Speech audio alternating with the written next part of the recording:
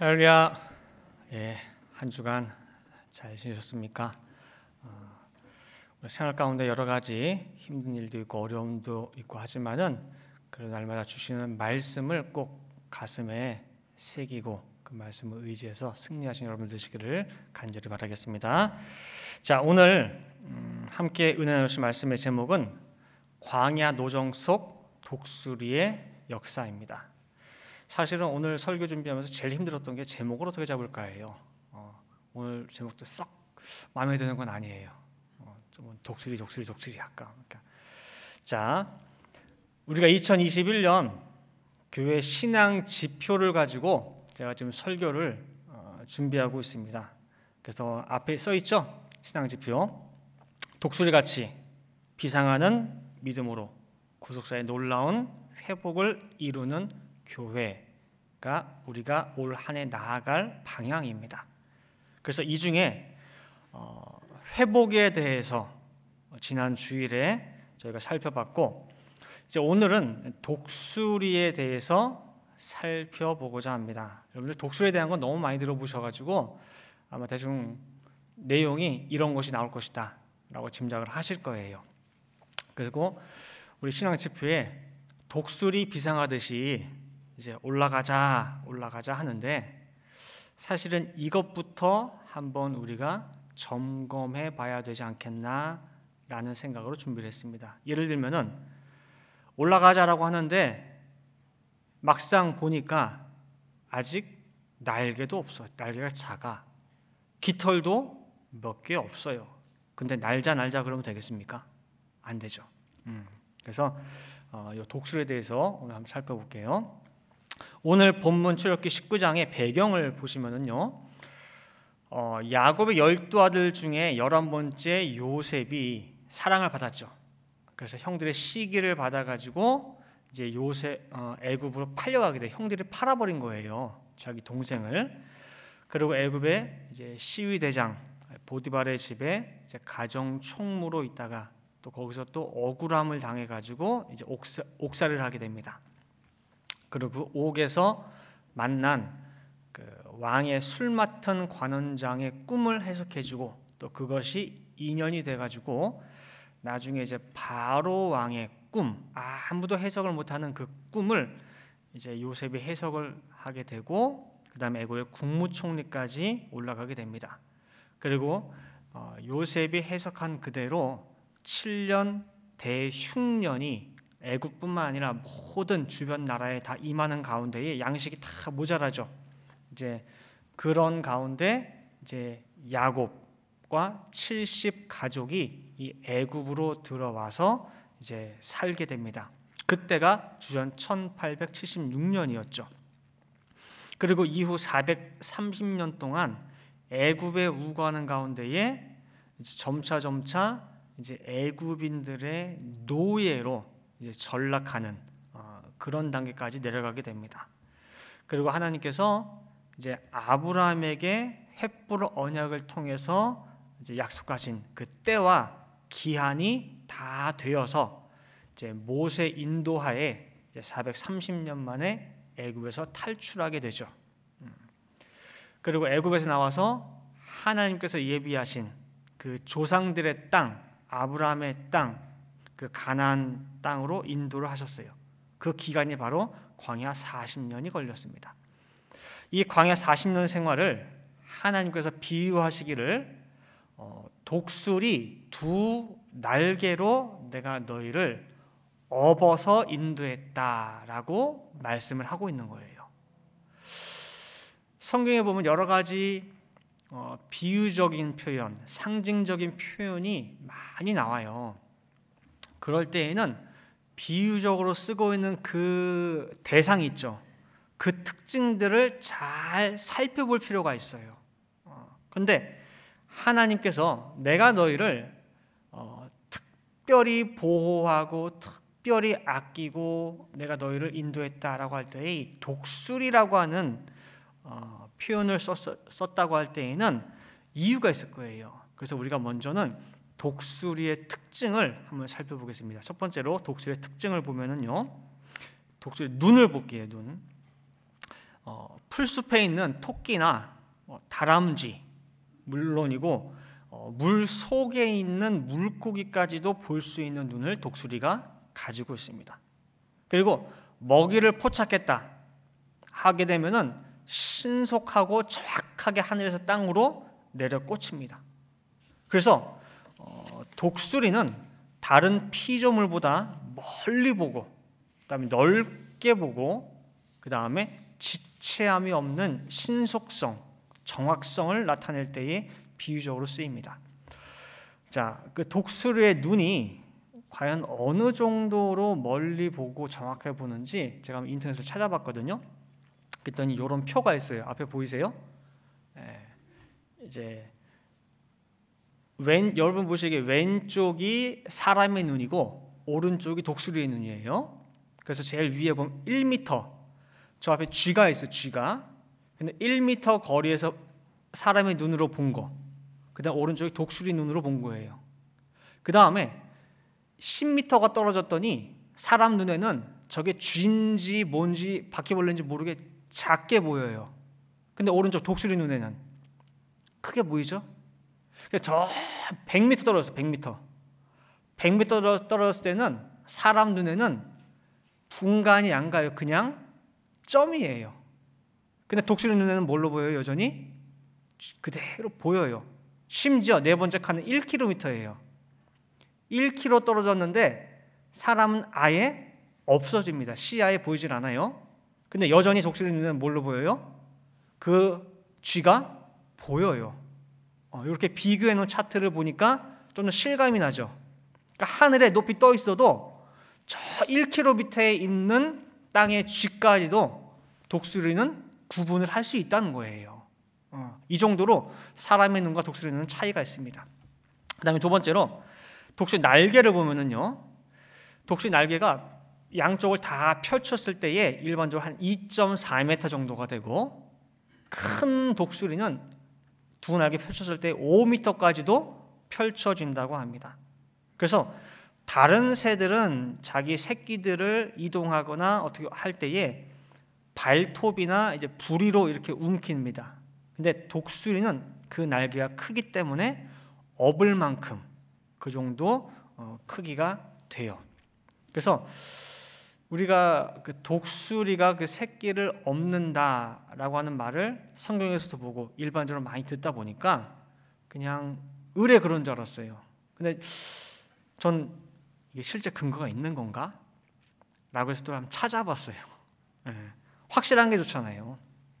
그래서 찾아봤더니 어, 1958년 그 런던에서 발행되는 그 개간, 그러니까 계절별로 나오는 그 팔레스타인 탐사라고 하는 그 학술지가 있는데 거기에 그 드라이버 박사라고 하는 그 분이 자신이 관찰한 거, 그 다음에 또 여러 목격자들을 모아서 그 증언을 듣는 것들을 어, 써놓은 게 있어요. 그래서 실제로 그 독수리가 떨어진 새끼를 날개로 없는 모습들을 관찰한 것들. 근데 실제로 그 중요한 순간을 포착해 가지고 카메라 잡거나 하건 그런 건 없어요. 워낙에 흔히 있는 일이 아니니까.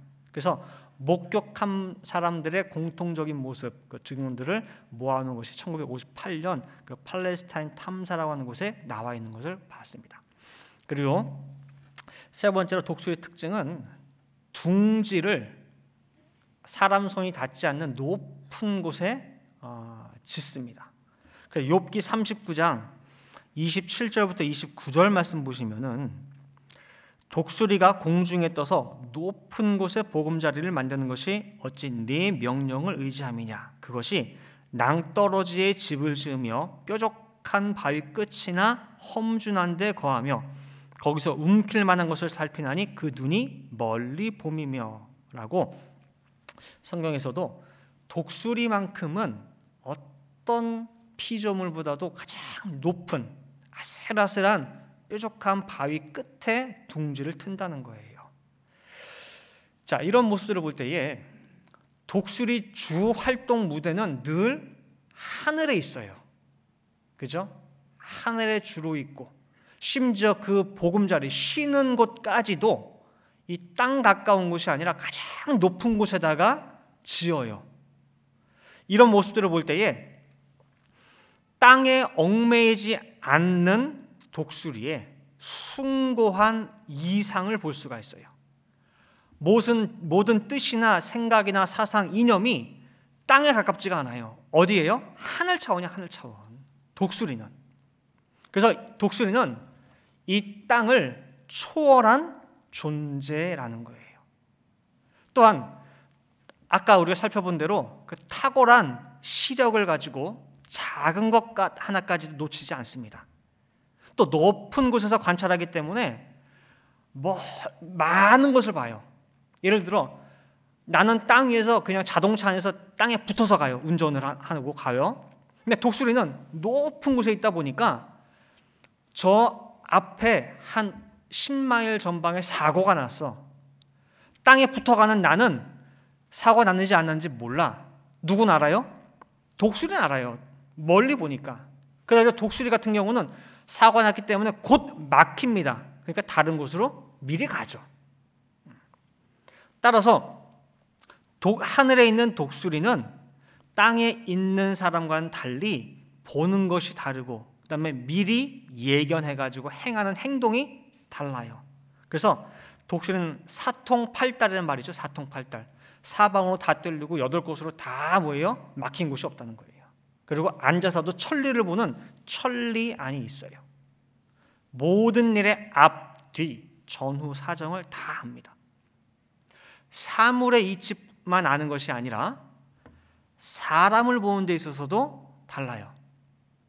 사람의 행동 하나, 말 한마디 속에서도 그 사람의 열 가지를 알 수 있고 백 가지를 가늠하고 꿰뚫어 볼 수 있는 그런 통찰력이 있는 것이 바로 독수리라는 거예요. 자 그러면은 이와 같은 독수리의 어, 성경에서 쓰인 용례를 한번 두 번째로 살펴보겠습니다. 두 번째 성경에 쓰인 독수리의 용례. 자 이런 비범한 특징을 가진 독수리를 하나님은 어떠한 방편으로 어떠한 도구로 쓰고 있는지 활용하시는 지 보겠습니다. 이사야 46장 11절 말씀 보시면은 내가 동방에서 독수리를 부르며 먼 나라에서 나의 모략을 이룰 사람을 부를 것이라라고 말씀하고 있어요. 독수리를 부른다고 하고 또 그 뒤에서 뭐예요?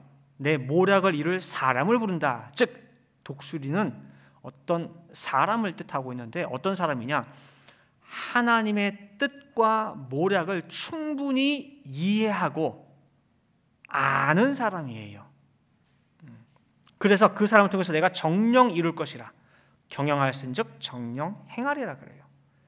하나님은 1km, 10km, 10km 앞을 내다보고 계획을 하시고 일을 진행하는데 하나님의 일을 하겠다고 하는 그 사람이 눈 앞에밖에는 못 봐. 바로 눈 앞에만. 그럼 일 시키겠습니까? 못 시키지. 세상 말에도 뭐가 손발이 맞아야 일을 하지라는 말이 있잖아요. 따라서 하나님의 뜻과 일을 하기 위해서는 그만큼의 시야, 넓이, 깊이가 있어야 된다는 거예요. 그래서 내가 독수리 통해서 일할 거야. 아, 왜? 보는 눈과 깊이와 넓이, 넓이, 궁량이 하나님의 뜻을 담을 수 있기 때문에 그렇다는 거예요. 그 다음에 마태복음 24장 27절, 28절 말씀 보시면은 번개가 동편에서 나서 서편까지 번쩍임 같이 인자의 임함도 그러하리라. 주검이 있는 곳에는 독수리들이 모일지니라. 이 마지막 종말의 때, 재림의 때에 대해서 예수님이 하신 말씀이죠. 다시 오시는 인자의 임하심을 예수님은 독수리와 지금 연관해 가지고 말씀하고 있다는 거예요. 즉 재림의 비밀 또한 독수리 속에 담겨져 있다는 거예요. 그 다음에 계시록 8장 13절 말씀 보시면은 내가 또 보고 들으니 공중에 날아가는 독수리가 큰 소리로 이르되 땅에 거하는 자들에게 화, 화, 화가 있으리로다. 이 외에도 새 천사의 불 나팔 소리를 이남이로다 하더라. 이 독수리는 외치는 독수리입니다. 그냥 외치는 게 아니라 큰 소리로 외쳐요. 자, 다른 사람들이 아무도 못 보고 있을 때 이 독수리 홀로 그 모습을 보고 있는 거예요. 그래서 알려야 돼요. 안 그러면은 다 죽게 생겼어요. 예를 들면은 한밤중에 한밤중에 아파트에 불이 났네. 근데 그거를 나만 보고 있어요, 지금. 어떻게 하실래요? 내 가족만 깨워서 내려가요? 아니면 나만 피나, 네요 아니죠. 그때 뭐라고 하십니까? 불이야 그런 거죠, 불이야. 근데 옆에 문 똑똑해 가지고 해요? 불났어요. 또 옆쪽에 불났어요 그래요? 아니에요. 발코니 서가지고 베란다에 서가지고 크게 외치죠. 불이야, 불이야 그러죠. 그죠? 그 심정이에요, 그 심정, 이 독수리가. 지금 다른 사람들은 하나도 못 보고 잠자고 있어요, 잠자고 있어. 나 혼자 지금 그 모습을 보고 있어요. 그렇기 때문에 큰 소리로 이 독수리는 외치는 거예요. 그래서 큰 소리라고 하는 말 속에는 애달품이 배어 있어요. 제발 내가 외치는 이 소리를 듣고 깨라. 듣고 나와라. 제발 살아라. 이 소리 듣고 살라는 거예요. 그러한 간절함이 배어 있는 소리예요. 나는 이미 하늘에 있으니까 음, 됐고 너네 이제 큰일 났다. 땅에 관한 너희들 이제 큰일 났다. 빨리 나오는 게 좋을 걸. 어, 아니면 뭐 어떻게 되나 한번 보자. 내가 그렇게 얘기했는데 안 듣더니 한번 어떻게 되나 보자. 그런 심정이 아니에요.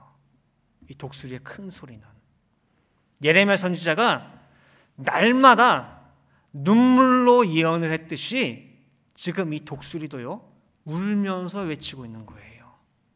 땅에 관한 자들에게 화, 화, 화가 있다고. 그래 제발 내가 하는 소리를 듣고 나오라, 살아라 그 소리예요. 그걸 아셔야 돼요. 그래서 애끓는 사명자의 모습이 독수리로 지금 표현되고 있습니다. 이처럼 하나님의 전 구속 역사 속에 빠지지 않고 등장하는 것이 이 독수리인데 이 독수리가 오늘 본문의 무대인 광야에 등장하고 있습니다.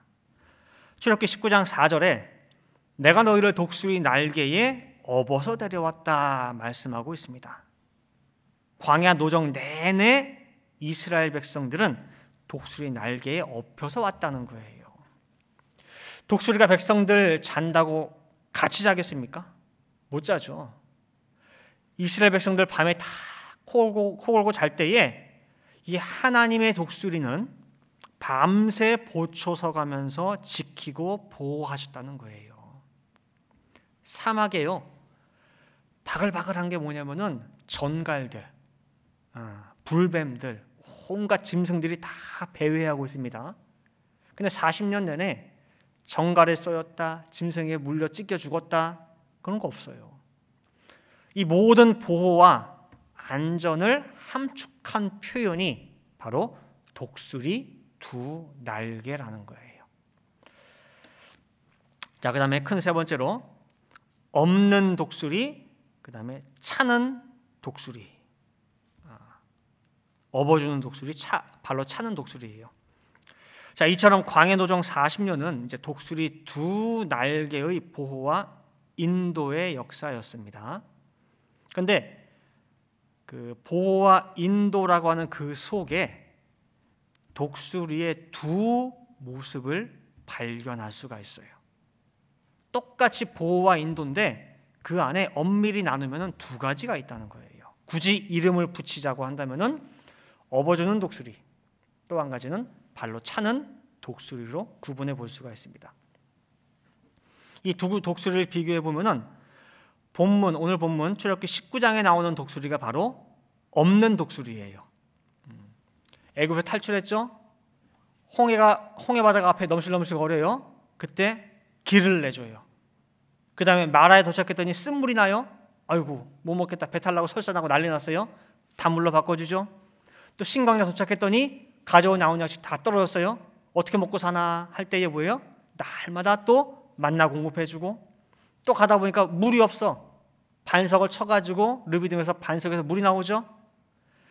적재적소 필요에 맞게 척척척척 모든 것을 다 공급해주는 친절하고 나이스한 독수리가 바로 이 독수리예요. 이 백성들이 오만 가지 욕을 다 퍼붓고 해도 그 비유 다 맞춰주고 사랑해주고 또 어렵고 힘들까봐 알았어 내가 다 해줄게 해주는 독수리가 이 업어주는 독수리예요. 그게 바로 출애굽기 19장 4절에 나오는 나의 애굽 사람에게 어떻게 행하였음과 내가 어떻게 독수리 날개로 너희를 업어 내게로 인도하였음을 너희가 보았느니라라고 하는 거예요. 업었다고 표현하고 있어요. 어. 근데 반면에요. 발로 차는 독수리가 있습니다. 발로 차는 독수리. 저 포함해 가지고 우리가 그동안 공통적으로 생각해 온 것이 독수리의 두 날개로 업어 주셨다. 그러면은 무슨 그 알라딘에 나오는 그 요술 양탄자 탄 것처럼 편안하고 안락한 등으로만 생각을 했어요. 그런데 제가 이 성경, 성경 구절을 읽고 깜짝 놀랐어요. 그리고 감탄한 것이 야, 참 말씀 자세히 깊숙이 어, 봐야 되겠구나. 까도 까도 참 새로운 게 있구나. 라고 이렇게 느꼈거든요. 이 발로 차는 독수리가 어디에 나오냐 할 때에 신명기 32장에 나와요. 이 32장 우리가 얼마나 많이 봤습니까? 특히 신명기 32장 7절. 그죠? 옛날 기억하라. 역대 영대 생각하라. 또 아비 어른들에게 물으라. 거의 뭐 달달달 외우잖아요. 근데 그 32장 7절 바로 밑에 그 등잔 밑이 어두워서 못 봤어요. 자, 오늘 한번 보도록 할게요. 신명기 32장 10절부터 12절입니다. 여호와께서 그를 황무지에서 짐승의 부르짖는 광야에서 만나시고 호위하시며 보호하시며 자기 눈동자 같이 지키셨도다.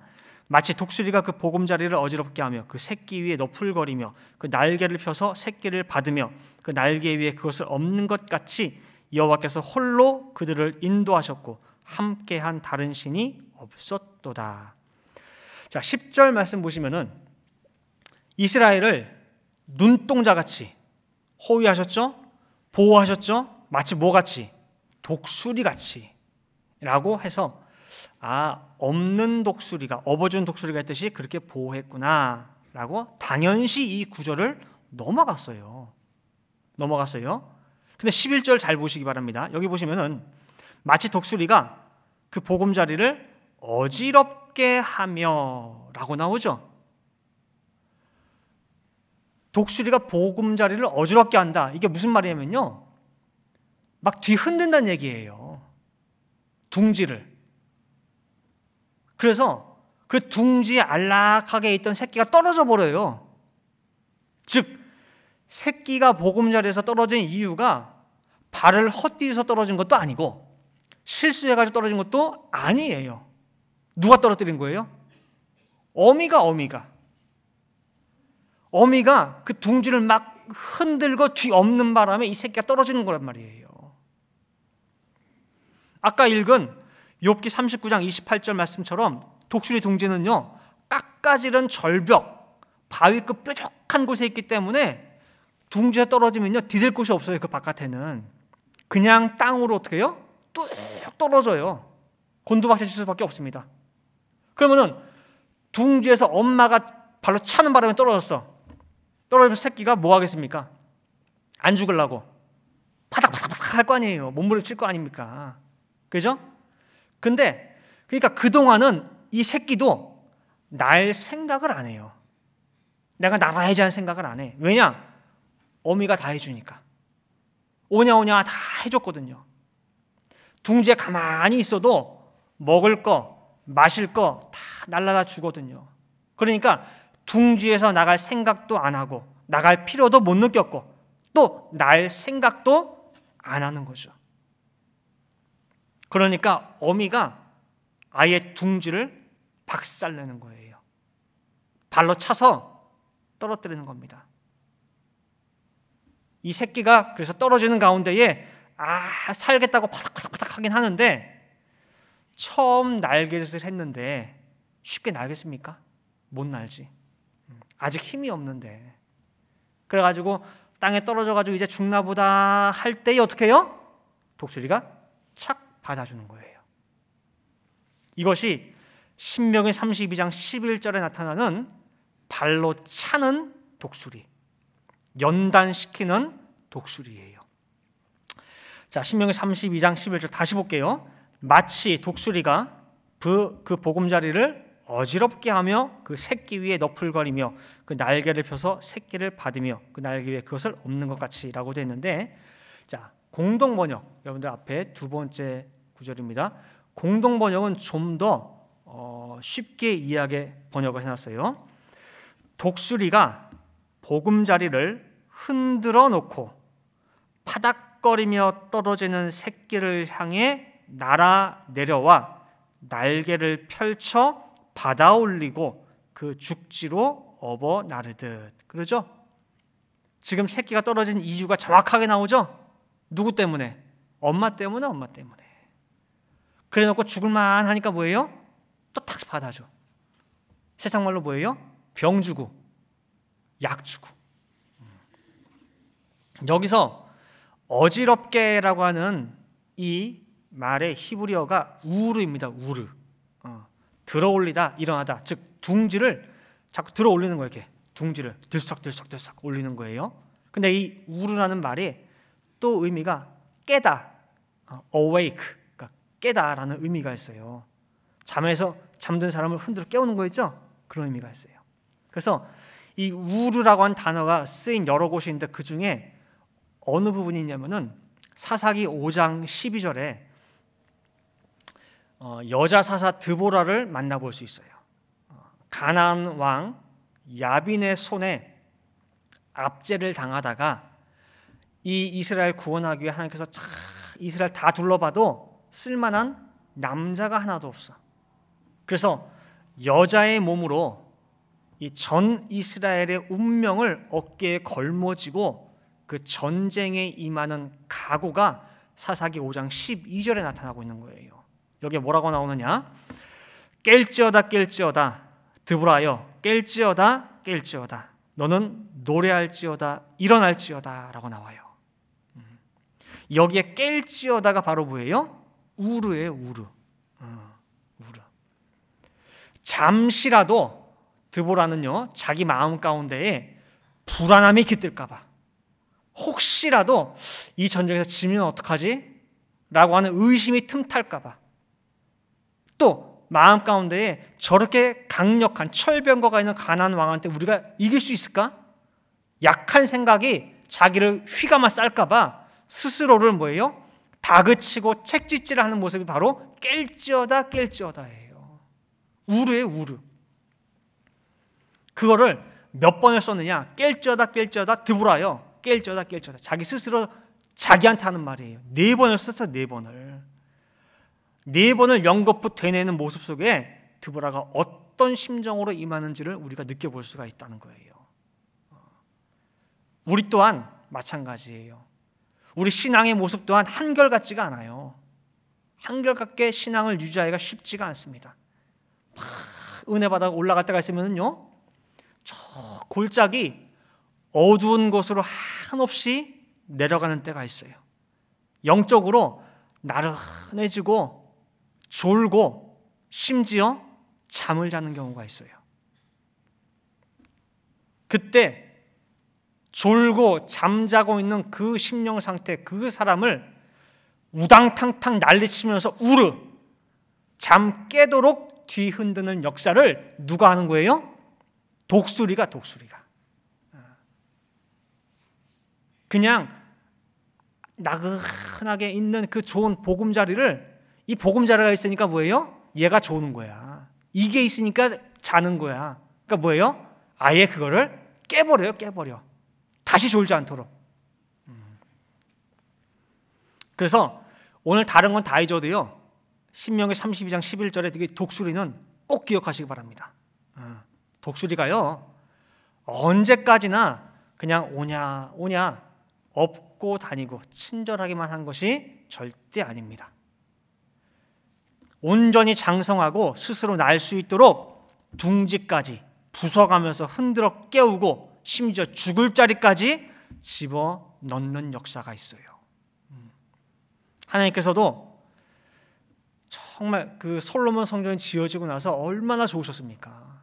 그래가지고 구름으로 거기에 임재하시는데 사람들이 거기 가까이 못할 정도로 그렇게 너무 기뻐하시고 좋아하셨던 솔로몬 성전이에요. 내가 여기에 늘 머물게 내 눈동자가 여기서 떠나지 않을게 그랬는데 그 솔로몬 성전이 어느덧 영적 나태와 게으름과 그 다음에 죄악의 도성이 돼버리는 바람에 그 사랑하시던 보금자리 솔로몬 성전까지 뭐예요? 다 부셔버렸어요. 다 태우고 허물어 버리고 그리고 당신 백성을 어떻게 했습니까? 어디에 집어넣었어요? 그렇죠. 바벨론이라고 하는 지옥 같은 곳에 집어넣어 가지고 70년 동안 연단시키셨죠. 이 또한 바로 독수리의 역사라고 할 수 있는 거예요. 이제 결론 맺도록 하겠습니다. 광야의 이스라엘 백성을 음, 사도행전 7장 38절에서는 광야 교회라고 했습니다. 광야 교회. 그래서 어, 너희 또한 어, 이스라엘 백성들이 걸었던 광야 노정을 자세히 살펴서 조심하고 또 조심해라 라고 사도 바울은 어, 고린도전서 10장 11절에 말씀하고 있어요. 저희에게 당한 이런 일이 거울이 되고 또한 말세를 만난 우리의 경계로 기록하였느니라 말씀하고 있어요. 자, 그러면은 광야 이 교회의 교회의 모습을 보면서 지금 우리의 교회의 모습을 비추어서 경계 거울로 삼으라는 거예요. 그러면은 광야에 없는 독수리가 있고 차는 독수리가 있었다고 한다면은 지금 우리가 걷는 이 길에도 두 독수리가 있단 말이에요, 없다는 말이에요? 있겠죠. 당연히 있죠. 그래서 어느 때에는 한없이 자상하고 사랑스러운 모습이지만은 우리의 성장을 위해서 때로는 발로 차기도 하신다는 거예요. 때에 맞게 연단도 하시고 시험하시고 어떤 때는 죽을 정도로 힘든 자리에도 차 넣으신다는 거예요. 그러다가 진짜 죽겠다 싶으면 어떻게 해요? 탁 건져주시는 그런 연단의 역사가 이 말씀의 노정 안에 있다는 거예요. 자, 그러면 앞에 2021년 신앙 지표에 독수리 같이 비상하는 믿음으로 라고 했습니다. 그럼 이 독수리는 어디에 해당하는 독수리일까요? 출애굽기 19장에 업어주는 독수리입니까? 신명기 32장 발로 차는 독수리입니까? 예? 둘다 아니에요. 어. 업어준 독수리도 아니고 발로 차는 독수리도 아니에요. 왜냐하면 신앙 지표에서의 독수리는 스스로 날 수 있는 독수리잖아요. 스스로 날 수가 있는 독수리예요. 그런데 출애굽기 19장 독수리는 현재 엎혀 있는 상태예요. 그죠? 하나님께서 보내주신 그 독수리에다가 우리가 엎혀 있는 상태고 신명기 32장은 날개는 퍼덕거리는데 아직 날지 못해. 그래서 결국에는 어미가 받아줘야 되는 아직 미성숙한 독수리예요.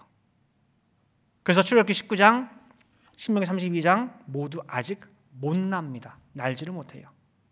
그러면 성경 어디에서 스스로 날 수 있는 모습을 발견할 수 있느냐라고 할 때에 계시록 12장에 보면 나와요. 계시록 12장에 보면은 해를 입은 여자가 등장하죠. 예. 이 여자는 결혼한 여자예요. 음. 그 해를 입었다라고 할 때에 옛날 우리 그 사극에 보면은 뭐 후궁들이나 뭐 궁녀들이 임금님의 뭘 입었다 그래요? 성은을 입었다라고 표현하듯이 이 여자는 해를 입었습니다. 그리고 철장 가진 아들을 해산하게 돼요. 그럼 이 여자가 진짜 어떤 생물학적인 여자냐? 그게 아니라요. 아니에요. 이 여자가 상징하는 바는 마지막 때 참 말씀을 가진 말세 교회의 모습이에요. 참 말씀을 가진. 그래서 해를 입었다고 표현한 거예요. 참 말씀을 지닌 말세 교회의 모습을 해를 입은 여자로 표현하고 있는데 이 여자가 드디어 아들을 낳았어요. 아들을. 이 아들로 말미암아 어, 붉은 용이 하늘에 있다가 땅으로 내쫓김을 당하게 돼요. 그래서 얼마나 분해요. 분하죠. 그래서 나를 이꼴로 만든 남자를 해산한 여자를 핍박하기 시작합니다. 어떻게든 죽이기 위해서 혈안이 돼가지고 쫓아다니는데 이 여자의 모습을 잘 보세요. 계시록 12장 13절, 14절 말씀 보시면은요. 용이 자기가 땅으로 내어 쫓긴 것을 보고 남자를 낳은 여자를 핍박하는지라 그랬어요. 아까 말씀드렸죠? 그 남자 아이 아들 때문에 쫓겨다녔어. 근데 그 남자를 누가 낳았어요? 여자가. 그러니까 이 여자를 어떻게든 핍박하고 죽이려고 하는 거예요. 자, 14절. 그 여자가 큰 독수리의 두 날개를 받아 광야 자기 곳으로 날아가 거기서 그 뱀의 낯을 피하여 한 때와 두 때와 반 때를 양육받음에 음. 출애굽기 19장과 신명기 32장의 광야 교회는 그 교회는 광야 교회는 독수리가 업어서 인도했습니다. 그 차원이에요. 그러나 해를 입은 여자 말세 교회는 독수리가 업어서 데리고 간 것이 아니라 독수리의 두 날개를 받아서 자기가 날아 자기 처소를 향해서 간 거예요. 이게 차이가 있습니다. 광야교회 해를 입은 여자 말세교회 차이. 그래서 광야에 자기 향해 날아갔다. 여기가 어딘지는 이제 오늘 주제가 아니니까 자세하게 다루진 않겠지만은 하여튼 이 교회 말세 교회가 독수리의 큰 두 날개를 받았다고 하는 것입니다. 그래서 이 독수리는 비상할 수가 있어요. 거센 바람 속에서도요 나동그라지지 않고 유유히 그 하늘을 활공할 수가 있습니다. 우리 2021년 신앙 지표에 등장하는 독수리가 바로 이 독수리예요. 이 독수리. 업혀가는 독수리도 아니고 어, 아직 날개가 힘이 없어가지고 못 나는 그런 독수리도 아니고 나는 독수리예요. 누구 날개로? 하나님께서 주신 자기 날개로, 독수리 날개로. 그러면은 이 말색 교회, 이 말색 교회가 독수리의 날개를 받아서 날개까지 얼마나 고된 훈련과 연단과 눈물이 있었겠냐 그 말입니다. 하루아침에 된 게 아니겠죠. 음. 아버지가 어떻게 자기 자식을 이렇게 매정하게 내팽개칠 수 있느냐? 어, 어떻게 발로 찰 수 있느냐? 그 둥지에서 뚝 떨어지는 새끼는 분명히 그 생각을 하겠죠. 저거 내 부모 맞나? 어떻게 이렇게 나를 차? 분명히 그 생각할 거예요. 세상에 믿을 사람 하나도 없다고 그러면서. 그죠? 그러나 그게 아버지예요. 그게 부모. 떨어진 새끼처럼 혹시 우리 그런 생각 가진 적 없으세요? 야, 내 이렇게까지 응? 교회 할 만큼 했는데 충성했는데 뭐 했는데 뭐 했는데 나는 왜 이러지? 이거 아버지 맞나? 하나님이 내 아버지라고 하는데 그래 생각한 적 없으세요? 둥지에 떨어진 새끼처럼? 음. 근데요, 이제 그런 생각하는 차원, 어린아이 차원에서 벗어나야 돼요. 진짜 아버지기 때문에 그렇게 하시는 거예요. 떨어뜨리시는 거예요. 그래서 자 히브리서 12장 6절부터 8절 말씀 잘 보시기 바랍니다. 자 주께서 그 사랑하시는 자를 징계하시고 그의 받으시는 아들마다 채찍질 하심이니라 하였으니 너희가 참음은 징계를 받기 위함이라 하나님이 아들과 같이 너희를 대우하시나니 어찌 아비가 징계하지 않는 아들이 있으리요. 징계는 다 받는 것이오늘 너희에게 만약에 그런 징계가 없으면은 사생자요 참 아들이 아니니라 그래요. 아. 독수리가 새끼를 떨어뜨리고 태우고 또 떨어뜨리고 태우는 과정을 통해서 날개 쭉지에 그 힘이 생기고 스스로 날 수 있도록 만들듯이 우리 아버지 되시는 하나님께서도 그렇게 행하신다는 거예요. 그게 없는 게 가짜라는 거예요. 히브리서 12장 11절부터 13절 말씀 봐도요.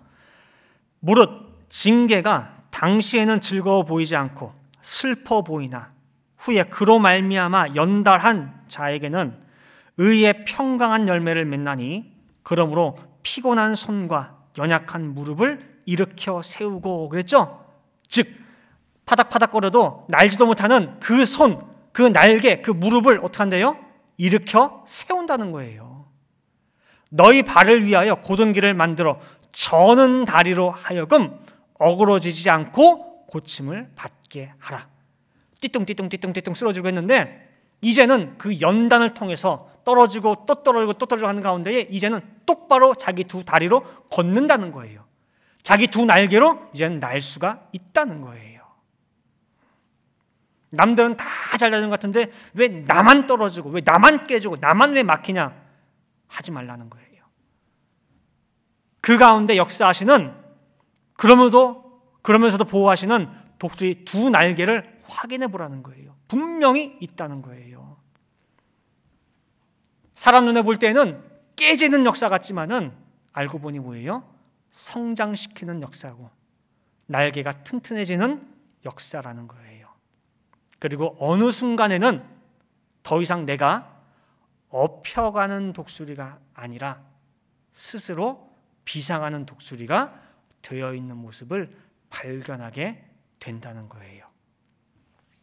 그래서 우리 모든 열분 동생 성도들 성도들 이 모든 역사의 주체 올리시고 떨어뜨리시고 또 올리시고 떨어뜨리고 하는 그 모든 역사의 주체가 우리 아버지심을 믿고 어떠한 경우에도 낙심하지 마시고 소망을 가지고 힘차게 씩씩하게 비상하시는 모든 성도들 되시기를 간절히 축원하겠습니다. 함께 기도하시겠습니다.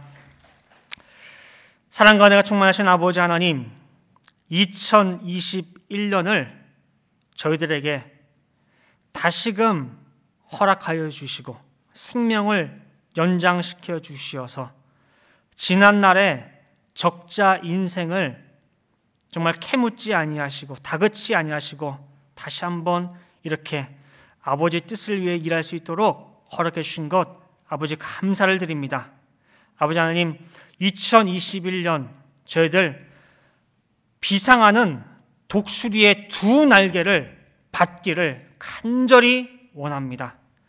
광야 교회 안에서 언제까지나 정말 웃었다가 울었다가 감사했다가 또 불만불평했다가 하는 들쭉날쭉하는 그런 신앙이 아니라 언제까지 그 아버지 두 날개에 업혀만 가는 어린 신앙 또한 보금자리에 가만히 있다가 떨어뜨릴 때에 땅으로 곤두박질 치면서 나만 왜이 꼴을 당하느냐? 다른 사람 다 잘 되는데 왜 나만 이렇게 힘드느냐? 늘 불만 불평하는 그러한 모습 그 어린 신앙이 이제 그 자리에서 이제는 탈출하고 벗어나기를 간절히 원합니다. 나에게 일어나는 모든 작은 일 하나까지도 아버지 하나님의 정확한 시간표 안에서 모든 것이 계획되고 예정되어지고 그 궁극적인 모습은 나의 약한 두 날개를 강하게 하시고 정말 삐뚤빼뚤하는 내 두 다리를 튼튼하게 하여서 정말 뛰어다닐 수 있도록 날아다닐 수 있도록 하기 위한 아버지의 큰 있는 줄 믿사오매 나의 아버지심을 정확히 믿고 아버지의 작정을 믿는 가운데에 날마다 날마다 낙심하지 않고 실망하지 않고 언제나 승리하며 소망을 가지고 살아갈 수 있는 우리 성도들 다 될 수 있도록 역사하여 주시옵소서. 이제는 업혀가는 독수리, 정말 이렇게 떨어지다가 또다시 업혀가는 내 날개를 날지 못하는 그런 역사가 아니라 이 늘 푸른 동산교회만큼은 정말 해른 해를 입은 여자와 같이 정말 아들을 출산할 수 있고 정말 독수리의 두 날개를 받아서 홀 창공을 비상하고 활공할 수 있는 저희 모두가 되게 도와주시옵소서. 그리하여 이 교회에서 예수의 증거를 가진 계명 위에 끝까지 선 붉은 용과 대적하여 싸울 수 있는 주의 군사들이 많이 배출될 수 있는 늘 푸른 동산교회 될 수 있도록 인도하여 주시옵소서. 정말 우리 모든 늘 푸른 동산교회 개인마다 가정마다 올 한 해에 독수리의 두 날개가 튼튼해지고 더욱더 강건해지고 드디어는 비상하고 하늘을 향해 힘차게 날아오는 놀라운 역사가 있게 허락하여 주시옵소서. 기도한 대로 될 줄을 믿고 감사드리며 이 모든 말씀 사랑에 만하신 예수 그리스도 받들어 기도 올리옵나이다. 아멘.